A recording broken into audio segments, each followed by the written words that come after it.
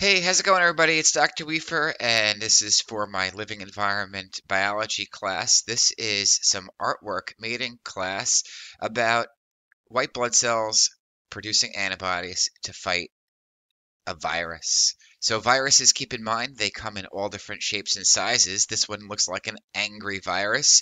On the surface of every virus are these antigens, which are the specifically shaped protein molecules that mark a unique virus. And all viruses are going to have some kind of genetic information. In this case, it's DNA inside this virus. And this kind of looks like a bacteriophage virus that will infect bacteria. This is what the general shape is. Uh, there's other shapes of viruses. This one is going to be a virus that is encapsulated in an envelope.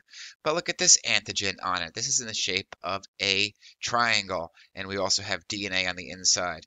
And here's another cool looking virus. And this is a square shaped antigen. So keep in mind, each virus unique is going to have its own shaped antigen on the surface. That's what marks one virus versus another. So we'll use this virus as an example. It's going to come along, it's going to invade the body, and the uh, immune system is going to recognize that. And we have these white blood cells that, when it's fighting the virus, is going to produce antibodies. So these shapes right here are antibodies. And if you notice, this square looks like it will fit right into there. So that is the key thing is that when your white blood cells make antibodies, they have to be the right shape to attach onto the antigen, which is on the surface of the virus. That's how it knows to mark it for destruction. So here it is. Here is the white blood cell nearby. You can see that the antibodies are specifically attached to the antigens right there. That marks it for destruction. So another white blood cell comes along and says, hmm, it's marked for destruction. I'm going to consume this virus, I'm going to engulf it, and I'm going to destroy it. And that's what exactly happens.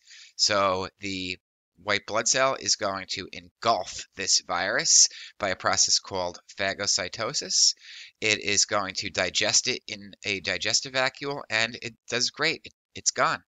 Uh, one question that often comes up on these kind of tests, like the living environment regents, is what does a vaccine do? Well, a vaccine is a weakened or dead form of a virus. Maybe they'll put just pieces of the virus in so your body can recognize these antigens. So your white blood cells pump out these antibodies, and also it makes memory clones of itself. So it knows how to make that very specific shape super quick if and when you get infected by the real thing.